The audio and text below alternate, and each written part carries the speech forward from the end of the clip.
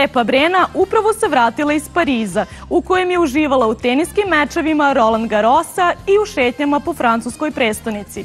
Pevačica je kratko boravila i u Monte Carlo, a sve utiske sa putovanja saznaćete u narednim minutima.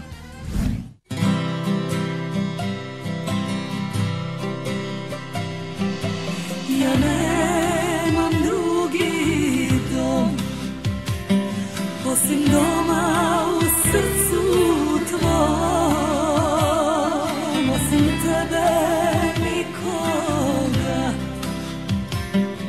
Na svetu nemam ja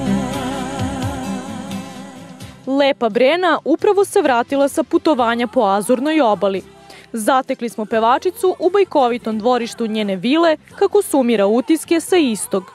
jedan mali kruzing po Azurnoj obali i naravno Roland Garros Nole je igrao i naravno tu situaciju, odnosno taj meč zaista nismo mogli da propustimo.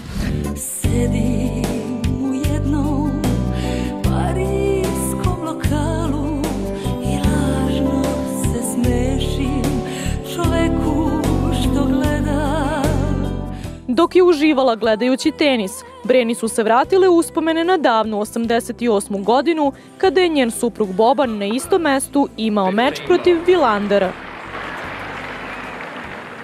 I on je te godine igrao, Roland Garros igrao protiv uh, Vilandera, onaj čuveni njegov uh, meč kada ga je imao na 5-2 Vilandera, a posle toga je izgubio. Naravno da se ta krivica prepisivala meni, zato što smo nas dvoje tek tada krenuli da se zabavljamo 87. odnosno 88. godine. A u stvari on je imao povredu mišića desne ruke, da li je to bio, ne znam, teniski lakat ili e, tako nešto. Luda za tobom, šta se to može Kad još te čuvam ispod kože Pevačica ističe da je uz Bobu upoznala hedonistički način života i da su svoje vremeno obišli sva kultna mesta u francuskoj prestonici. I onda smo jedno veče došli u Crazy Horse gde se slikao naravno sa svim plesačicama, odnosno svim igračicama e, Crazy Horse gde su ono naravno bilo onim njihovim e, predivnim kostimima ili ne kostimima, ako tako mogu da kažem, da su imali samo neke cvetiće na grudima i ovaj prelepe tange, naravno devojke su toliko lepo izgledale, tako da e, u, u, u takvim situacijama zaista ne mogu da budem ljubomorna.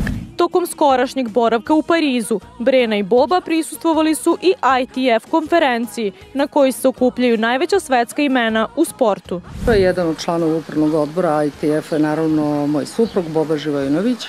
I ovaj puta je bila večera u Parizu, naravno u toj jednoj predivnoj, velelepnoj e, građevini, gde e, su se dodjeljivale nagrade e, svima onima koji su osvojili, ne znam, nija turnire u prošloj godini. To je bila Serena Williams. Ona je dobila nagradu ove godine. Zatim dodeljuju se priznanja sportistima koji su u invalidskim kolicima, Boban je naravno bio pozdravljen gromoglasnim aplauzom zato što je on e, veoma omiljen e, među e, sportistima i naravno pred čitavom tom ekipom. Kad hoću izgledam dobro Kad neću baš briga me Iako je na svom Instagram profilu Brena postavila fotografiju brendiranih odevnih detalja koje je ponela na konferenciji, ona ističe da nije rob marki i da ne voli da šopinguje po svetskim robnim kućama. Mislim da je moj život toliko brendiran i da sam ja sama po sebi brend, da ne bi trebala već da reklamiram nekakve druge uh, firme. Treba da predstavlja suštinu nekako našeg posla, to je da uh, kakve radimo koncerte, a ne da li nosimo Chanel ili nosimo Dior. Brena će ovo leto provesti odmarajući se na plovilu koji su nedavno kupili, a kojim će krstariti Jadranom.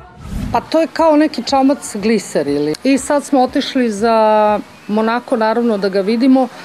Ja sam očekivala da to bude jedan mali čamac i naravno kako sam se približavala, prvo je bila jedna, o, prva jahta je najveća koja je bila tu, pa onda druga je isto malo bila veća i naš jerničak je negde stojao tamo, negde onako na kraju. Međutim, kad se, kad se približiš, znaš ono čuvenu priču, kada gledaš, znaš ono, šta je to što je gore, pa je tako malo, a kad se spusti dole, postane tako jako veliko. Znaš, sladak je, velik je, mislim onako kao jedan ovako sladak lep dnevni boravak. Može da se spakuje cela moja porodica i možemo malo da skitamo. Možda je malo brži, nego što ja volim. Možemo zaključiti da je Brena izabrala idealan način da napuni baterije za novu sezonu, tokom koje nam je obećala da će nas obradovati novim pesmama i raznovrsnim projektima.